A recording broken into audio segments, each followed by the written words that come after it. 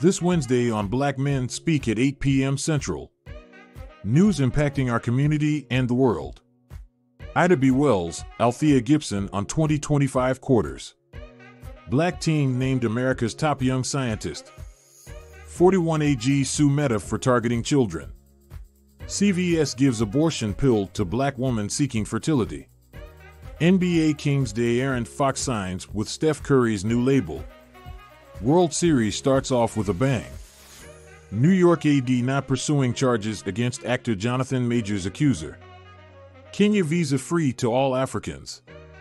Don't forget to watch Wednesday, November 1st at 8 p.m. Central